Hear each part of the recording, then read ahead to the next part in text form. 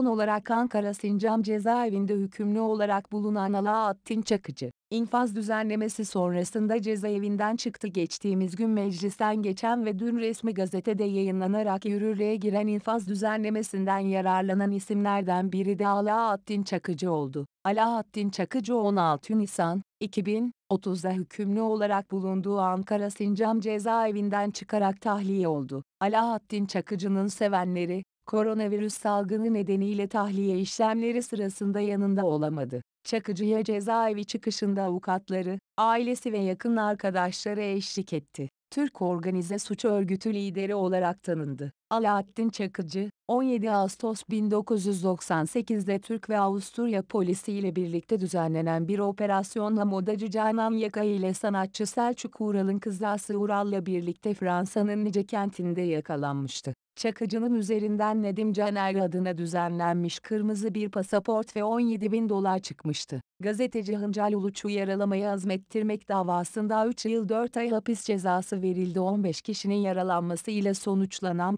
Kara Gümrük Spor Kulübü lokaline yönelik 26 Mart 2000 tarihinde düzenlenen silahlı saldırı ile ilgili davada, çıkar amaçlı suç örgütü kurmak ve yönetmek suçundan 3 yıl 4 ay, müessir fiili azmettirmekten de 14 yıl 9 ay cezaya çarptırıldı. Yargıtay çete suçundan verilen cezayı onarken müessir fiili azmettirme cezasında usul eksikliği buldu. Borsacı Adil Öngen'in arabasının kurşunlanması ile ilgili olarak 10 yıl 10 ay cezaya çarptırıldı. Uludağ'da 1995 yılında eski eşi Nuriye Uğur Kılıç'ın öldürülmesi olayında azmettirici olduğu iddiasıyla yargılandı ve 2006 yılında Bursa 1. Ağır Ceza Mahkemesi tarafından önce ömür boyu hapis cezasına çarptırıldı. Mahkeme, Kılıç'ın Çakıcı'ya söylediği Öcalan senden daha şerefli sözü nedeniyle tahrik indirimi yaptı ve neticede Çakıcı'ya 19 yıl 2 ay hapis cezası verdi. Cumhurbaşkanı Recep Tayyip Erdoğan'a hakaret ettiği gerekçesiyle 10 ay hapis cezası verildi.